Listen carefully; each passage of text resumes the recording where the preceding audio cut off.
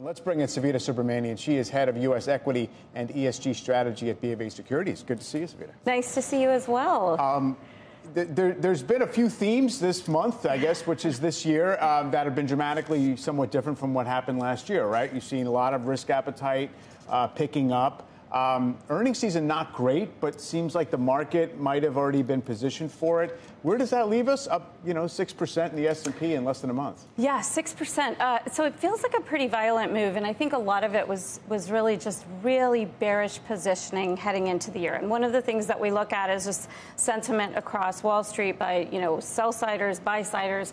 And there were two things that stuck out to me. Um, one, Wall Street asset allocation. Brokers lowered their allocation to stocks last year by six full percentage points. This is one of the fastest, biggest moves that we've seen in the history of our data. And they put all of that money in bonds. So everybody loves bonds at the beginning of the year. And then if you looked at hedge funds, hedge funds actually ramped up to a 40% net long exposure to regulated utilities. Hmm which is, you know, I mean, this is like the weirdest setup for, for you know, investors with risk appetites. So our view was okay. If everybody loves bonds and hates stocks, it's probably not going to work in the you know in the beginning of the year. And I think that going forward, there's this prevailing assumption that rates are peaking out right now and they're just going to come down. Inflation is peaking. The Fed's probably going to pivot soon. I don't know if it's that easy. And I mean, when you look at the inflation measures, a lot of these stickier barometers of inflation are still relatively high. So, you know, I think that it's not a great setup for bonds yet either. So, yeah, it seems like the Fed's burden of proof for uh, thinking inflation is taken care of is still pretty high. Yes. Um, so, you think yields have room to the upside? And I guess what does that mean overall uh, for other asset classes? I think yields have room to the upside. I mean, think about it quantitative tightening. So we're moving from the two biggest buyers of the 10 year, the Fed and China, basically have left the building. And that demand vacuum.